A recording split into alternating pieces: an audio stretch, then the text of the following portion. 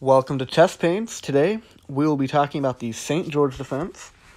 Um, pretty much anything white plays, you can start off a6. I know, wonderful move, right? white a lot of times will play d d4 in response. Um, from here, most people play e6 if they play the St. George. I usually play h6.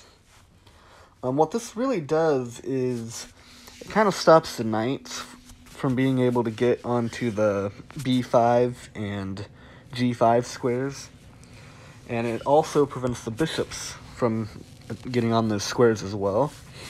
Um, so it's a very passive opening. Uh, if your opponent's never seen it before, it's it's gonna throw them off at least a little. and here you can do e6, which finally gives black some kind of development. Um, well, it, it doesn't develop, but it helps get you ready to develop pieces.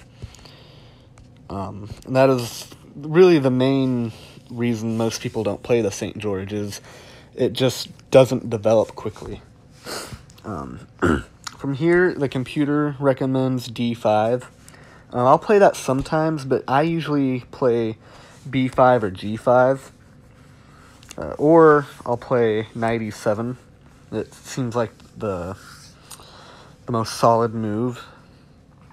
Um, from here, white has a variety of options, but I uh, just wanted to give a quick uh, introduction to the St. George defense. and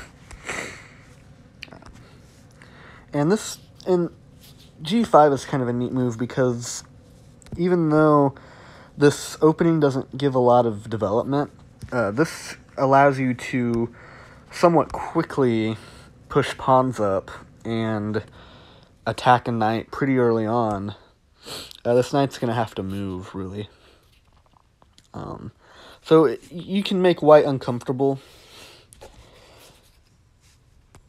There we go. Sorry, this thing can be slow sometimes. um, of course, it's being attacked by the, the d1 queen. Generally, I just move this pawn up. Uh, I've seen people move this pawn up, and then after the pawn trade, they trade again. Um, I, I wouldn't recommend doing that because there's a bishop and a knight per, uh, on the f5 spot. Um, all that really does is get some pawns out of the way. Um, and, and you're down a pawn, but it does open this up more. So I can kind of see why people do that, but I, I wouldn't recommend, I would just do this. Um, from here, there's a lot of variety, variations, options for white.